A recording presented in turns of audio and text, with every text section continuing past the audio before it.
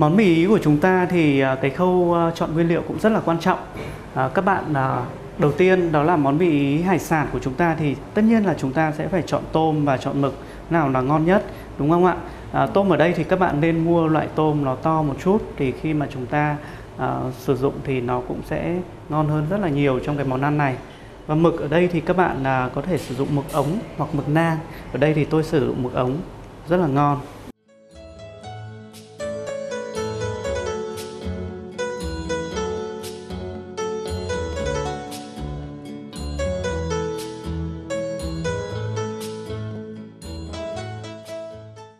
Đầu tiên thì chúng ta sẽ luộc mì trước để trong cái quá trình à, luộc mì à, chờ đợi mì chín thì chúng ta sẽ quay ra chúng ta sơ chế món này nhé.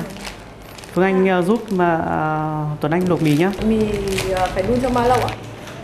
Mì này nó là cái, cái sợi mì khô thì khi mà chúng ta luộc ấy thì về cơ bản tất cả những cái dòng mì khô mà chúng ta luộc thì chúng ta luộc từ nước lạnh và để chúng ta để sôi khoảng độ tầm 15 phút. Và sau đấy thì chúng ta thử bằng cách đó là chúng ta ăn thử một miếng. Và nếu mà trong ở trong cái sợi mì nó vẫn còn cả nhân lõi ấy, thì chứng tỏ là mì chưa chín thì chúng ta có thể đun thêm một chút xíu nữa chúng ta bỏ ra. Dạ vâng, tức là luộc mì từ khi nước còn lạnh đúng không anh? đúng rồi. À, trong nước luộc mì này thì các bạn là có thể cho thêm à, vào một chút muối và một chút dầu ăn. Bây giờ Tuấn Anh sẽ cho thêm một chút muối nha sẽ cho thêm một chút dầu ăn. cái nồi này nó sẽ ờ, hơi bị ờ, bé so với cả số lượng mì của chúng ta thì chúng ta có thể ờ, luộc để cho nó mềm mềm ra một chút thì sau đấy thì chúng ta sẽ cho vào.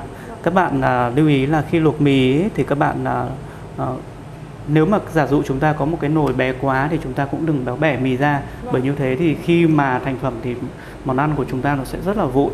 Các bạn có thể làm mực theo nhiều cách có thể là các bạn à, thái mực à, thành miếng tròn hoặc cũng có thể là các bạn à, cắt ra để khi mà chúng ta các bạn khía lên và khi mà chúng ta à, chế biến món này thì cái mực này của chúng ta nó sẽ có được cái à, hình ảnh nó sẽ rất là đẹp à, cái miếng mực nó sẽ bị cong lên rất là đẹp Khi mà thái miếng mực này ra thì chúng ta cần một miếng mực là có độ dài và khoảng bao nhiêu anh? Chúng ta cần là một cái độ dài nó khoảng độ tầm 30 30 à, 3 cm ấy, 3 cm chúng ta cắt à, vừa phải miếng thôi. Bởi vì nếu chúng ta cắt nó nhỏ quá thì vào trong món thì nó cũng sẽ không nhìn thấy mực đâu cả. Nếu mà chúng ta cắt to quá thì ăn nó cũng sẽ không được ngon. Tôm các bạn à, bóc bỏ đầu. Bóc vỏ. Các bạn giữ lại phần đuôi nha. Tại sao chúng lại phải giữ lại phần đuôi?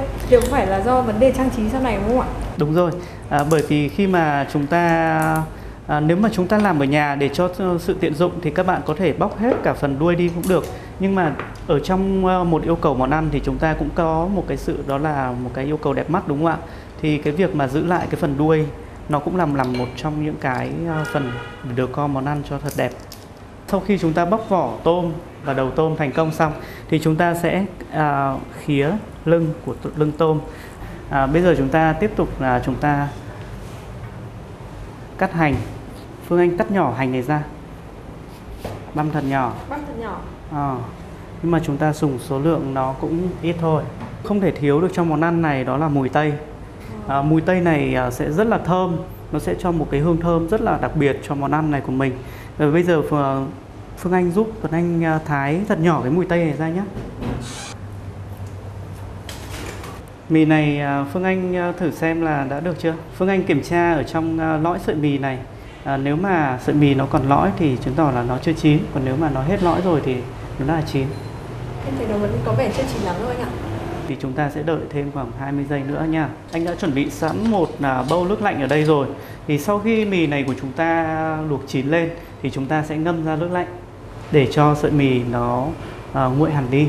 Và sau đấy thì chúng ta sẽ để ráo nước và chúng ta sẽ tiếp tục trộn thêm một lớp dẻ, à, lớp dầu ăn nữa vào để cho cái sợi mì của chúng ta nó không bị dính vào nhau. Phương Anh à, cho ra một cái à, bầu đi và sau đấy thì chúng ta sẽ trộn thêm cái dầu ăn vào. Phương Anh đảo đều tay lên cho tất cả cái sợi mì nó quyện vào nhau.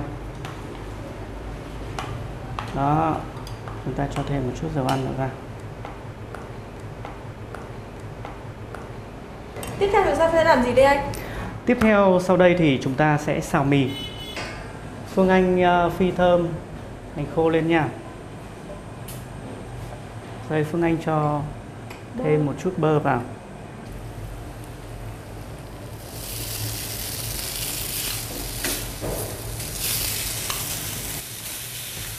Giờ Phương Anh có thể cho mì ra đĩa được đi.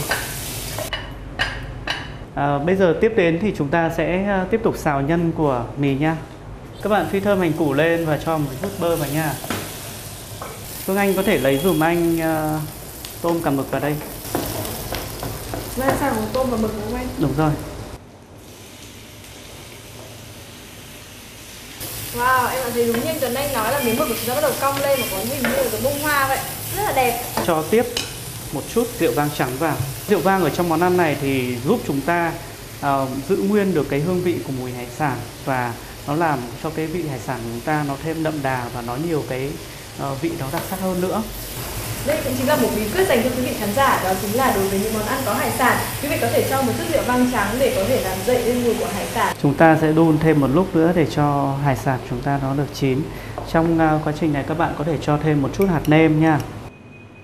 Quý vị và các bạn đã bắt đầu ngửi thấy mùi sữa tươi và kem tươi với mùi hải sản thật là rất là tuyệt vời các bạn ạ. À, tiếp theo nữa thì chúng ta sẽ cho thêm một chút nước cốt dừa. Nước cốt dừa vào trong món này thì sẽ tạo lên một cái hương vị rất là ngon và rất là đặc biệt. Các bạn nên lưu ý là sau khi cái món sốt này của chúng ta đã hoàn thành thì các bạn là cho mùi tây một chút mùi tây băm nhỏ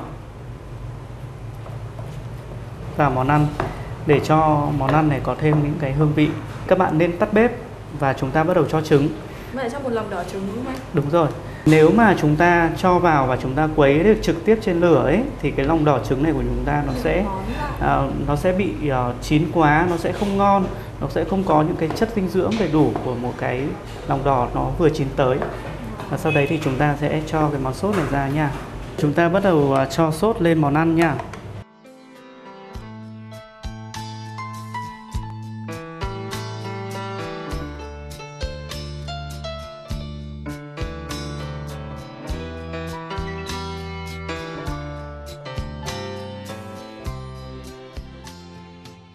Và đây món mì ý của chúng ta đã hoàn thành. À, mời Phương Anh à, ăn thử xem. Vâng, Phương Anh rất là thích lúc này khi mà Phương Anh có thể nếm thử những món ăn mà do chính anh uh, Nguyễn Tuấn Anh có thể giới thiệu cho các bạn quý vị khán giả xem. Bây giờ anh sẽ cùng thử nó nhé. Anh Tuấn Anh gặp đây là món ăn rất là ngon và em thấy nó có một cái mùi vị rất là ngậy và rất là béo. Thực ra là món mì ý hải sản là em đã được thưởng thức ở rất nhiều nơi khác nhau nhưng mà ngày hôm nay đến đây thì em lại cảm thấy một vị rất là đặc biệt và rất là lạ khi mà nó có được mùi thơm của dừa. À, không em em thấy là em đầu tiên mắc là tại sao món này có nước cốt dừa thì bây giờ thì em đã hiểu lý do tại sao rồi ạ. Nó rất là ngon. Cảm ơn anh rất nhiều. Và anh có thể cho khán giả được biết là yêu cầu thành phẩm của món ăn này như thế nào không ạ? Yêu cầu thành phẩm của món ăn này thì cũng rất là đơn giản thôi. Đó là hải sản chúng ta phải chọn thật là tươi và ngon. Cái thứ hai nữa là trong các món sốt này của chúng ta thì các bạn uh, lưu ý đó là cái định lượng và cái cách mà chúng ta cho từng nguyên liệu vào vào thời điểm nào. Món ăn của chúng ta đã thành phẩm đó là như thế này. Hải sản, chín tới, vừa ăn rất là ngon ngọt. Sốt của chúng ta có vị vừa, đều và có một cái mùi béo ngậy của nước cốt dừa rất là ngon.